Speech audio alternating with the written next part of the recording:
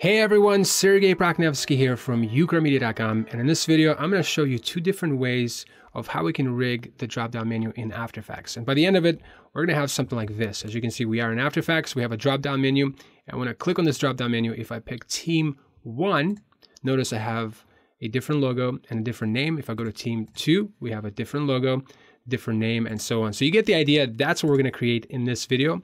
And without any further ado, let's dive right in.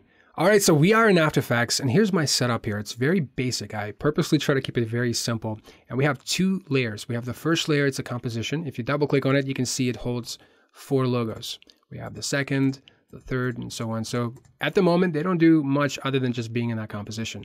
So let's go back to the original composition. So we have first layer, logos, and then we have the second one. It's just a text layer that's going to display the name of each team as we go through it. So that's my setup. So the first thing we need to do is create a layer, usually a null layer that we can store our drop down menu on. And in this case, just right click and go to new. And you can either go with null object, but I like to go with shape layer. When you click on shape layer, it, it creates like a blank shape layer. As you can see right here, it has absolutely nothing, has no contents. It just gives you this point.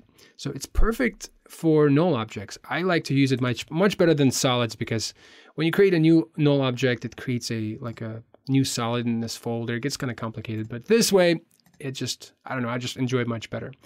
Anyway, you don't have to go this route, but that's the route I like to take. So I'm going to select this, press enter. Let's rename it to control. And then we're going to create a, a drop-down menu for this layer. So right click, go to effect, and then expression controls, and we're gonna click on this drop-down menu control. When you click on it, it applies it to this layer.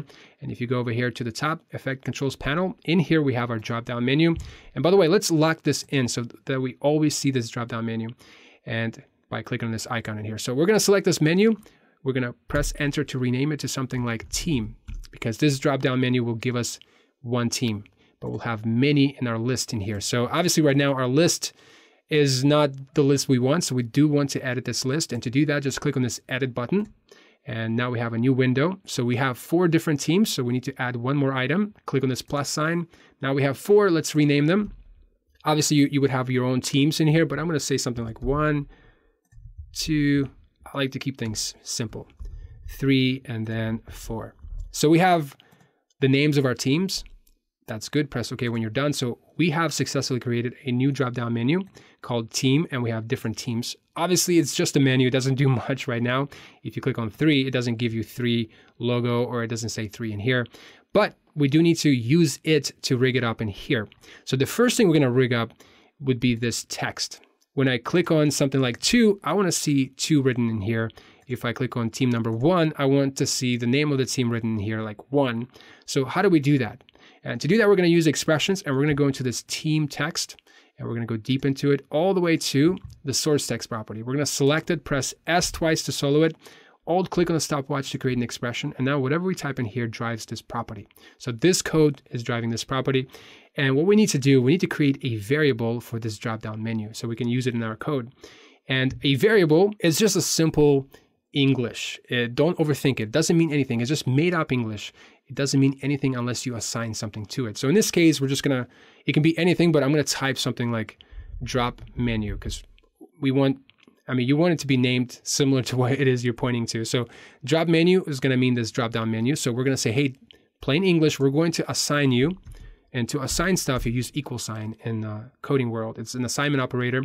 It's not an equal sign. It doesn't mean what you think it would mean. It's an assignment operator. So we're saying, hey, this made up English, you are going to be, and we're going to pick whip to this drop down menu right here. So now we have this address or path to this drop down menu. And by default, it will grab the value of this. But just to be safe, you don't want After Effects to guess. I'm going to say period value and then semicolon, which is like a period in coding world. So now this drop down menu actually means the value of this menu. And the value of this menu is not the word that you see in here. Like for example, three, that's not the value. The value of it is actually a number. It's like a it's a list, index value, right? So we have one, two, three, four. So in coding, when you say, hey, what's the value of this two, it wouldn't be the word. It will be wherever it is in the list. In this case, it starts at one, so one, two. And because of that, we see number two. So it's very important that you know that drop down menu just gives you a value that's a number. It's similar to a slider. It just visually, it's more appealing because we can see what we're clicking on. But again, don't get it confused. It's, ju- it's just a number. That's all that is. So let's keep going here. So now I'm going to introduce you to the first method, which is using arrays. And by the way, I got this method from Victoria Nece. She is an After Effects legend. So thank you, Victoria, for this awesome tip. And here's what we're going to do. We're going to create a new variable. Again, made up English. We're going to call it something like, well, let's do this, team names. So this variable is going to hold all like the names of our teams. Um, it can be, you know, one, two, three, and so on, but it's going to be an array. It'll make sense here in a second. So I'm going to tell this team names variable to be, we're going to use equal sign, and then we're going to open up the square bracket, which arrays are written with square brackets. So whatever we type within those square brackets, it's just going to be a list of different things. That's where we list the names um, of our teams. So for example, we can say something like, this is what you probably would do if you don't know coding. You're going to say something like one, comma, two, three, four, and so on. And naturally, you would think this is correct. I'm like, hey, I type stuff in. Those are my names. But it would actually freak out on you because the way um, After Effects sees it, it sees those um, those words as keywords. It thinks that it, it's some kind of code and it tries to figure out like, what do you want me to do? So we have to tell After Effects when we type any kind of text, we have to tell After Effects to see it as text. And to do that, we use quotes right? Whatever you type in quotes, it, it basically that's our way of telling the computer, hey, it's a text. Don't overthink it. Don't use it as a keyword. It's just a plain text. Treat it as text. And that's why you see the double quotes or single quotes. Those are what we call strings. Whatever we type in there, it's just simple text. It basically tells um, After Effects to ignore it. Now, I know I'm over explaining this, but this is very important. This is the stuff I wish I knew starting out. So I'm going to type something like one, so we have the first name of the team one, and then I'm going to say comma, and then quotes again. We're going to say two, and then three, and then well again make sure double double quotes. Uh, we're going to say four, and again we're going to do semicolon. It's just a period in coding world. It's our way of saying, hey, that's the end of this line. Let's go to the next line. So now if I call this up, if I say team names, if I call this up, we will see the list of all of them in our composition. So watch this. As you can see, it lists all of them, but that's a bit of a problem because I want to see all of them. I only see I want to see one at a time. So how do I access one at a time? And to do that, we're going to use square brackets again. So just go to the end of this variable that holds the list of all your items, right? And then we're going to do open square bracket. And within our square brackets, we're going to refer to the index value of each um, item.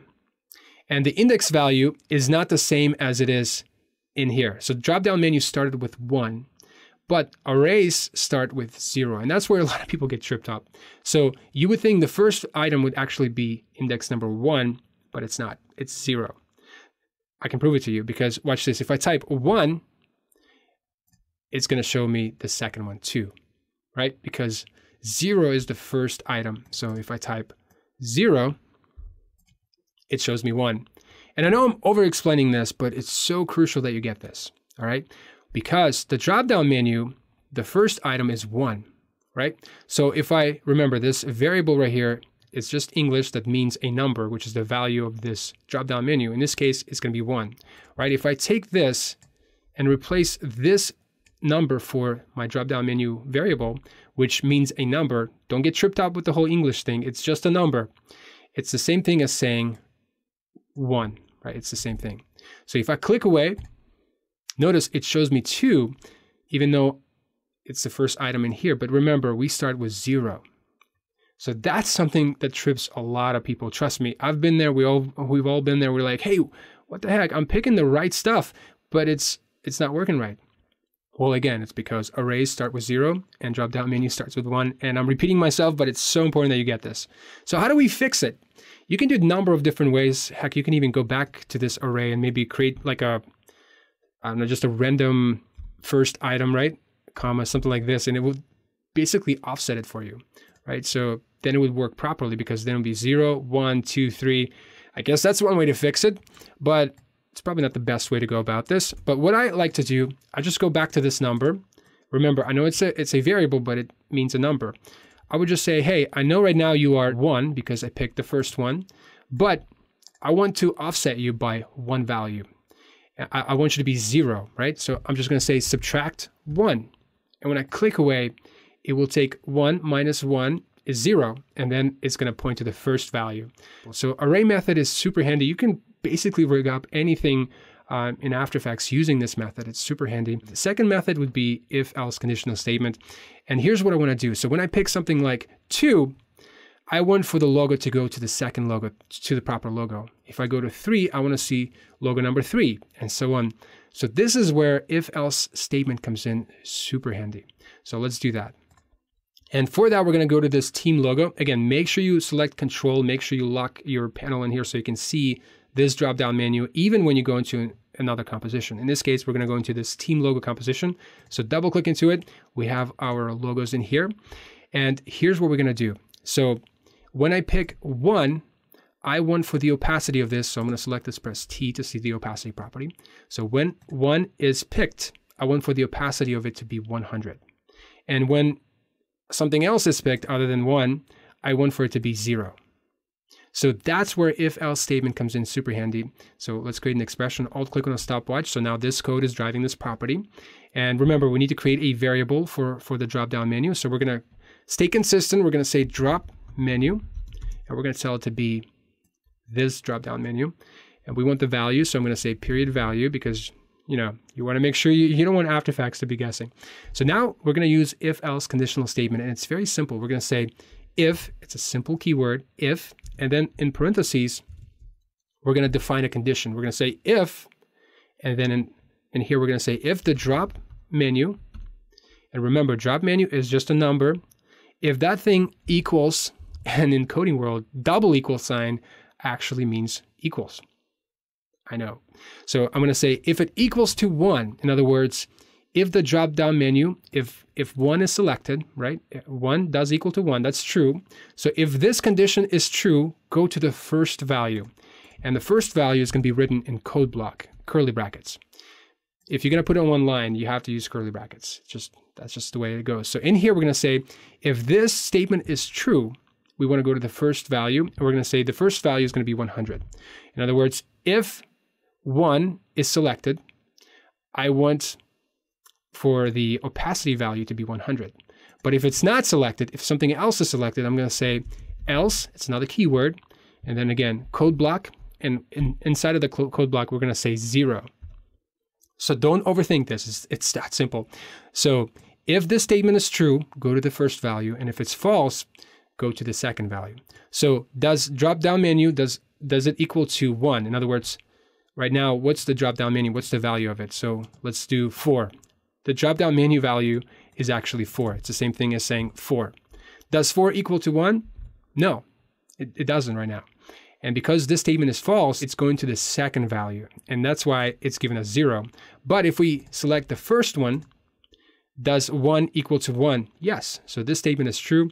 And because of that, it's going to the first value. I hope you're, you're getting this because it's very simple. That's all you need to know. And this thing comes in very handy. However, you know, we, we rigged up the first one, but what if I want to do for the second layer? Then I have to copy this expression, you know, paste it to the opacity, and instead of one, I would change it to two, right? Because when two is selected, I want for it to be 100. You get the idea. Let me undo this. But I don't want to do that for all of my layers. Let's say, hypothetically speaking, what if you have like 100 layers? that's not too far fetched. I mean, I worked on Fox Sports where we have a bunch of team logos. That's a lot of layers. You don't want to be doing that for every single layer. So instead of one, here's what you would do. You would just type a simple word called index. So you say index. And what index does, it basically refers to the layer index. So right now, the layer index of this layer is one. So that's what it means, one. But it's relative to its layer. So if you copy this I'm going to select this, Control C, copy it, and then select all the other layers and paste it. So if you paste the same expression to all the other layers, the index value of those layers change. And it's it's super awesome because then I don't have to do it every single time. So now if I select 2, you'll see 2. If I select 3, you'll you'll see 3. And that's how easy it is to rig it up. All right, well that's the end of this tutorial and to be honest with you, that's how I create my motion graphic templates like this one. As you can see, it animates in, animates out. However, it is a motion graphic template, so you can click on it and you have some options like a drop-down menu. So I can say, hey, give me team one. And then we have team one with the name, the colors, all of that stuff. And I used the same methods I just showed you. In fact, if you want to see me rig this up on YouTube, definitely let me know in the comments below. But it's the same concept just slightly different, that's all. But thank you again for watching this tutorial. I hope you found it useful. And if you have, make sure you like this video, subscribe to our YouTube channel. And if you want to learn more about expressions, we do have a course at ukramedia.com slash expressions. All of the links are at the bottom of this video in the description area. But until next time, my name is Sergei Prokhnevskiy, and this is ukramedia.com.